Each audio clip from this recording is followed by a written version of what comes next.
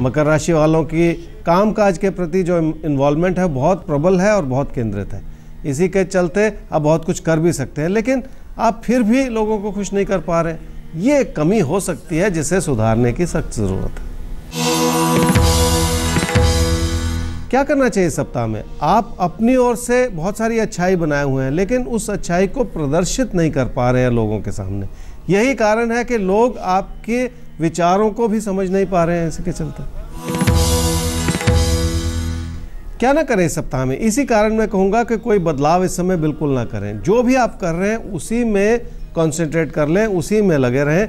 किसी भी तरह के जो परिवर्तन है, उससे कोई फ़ायदा होने वाला नहीं।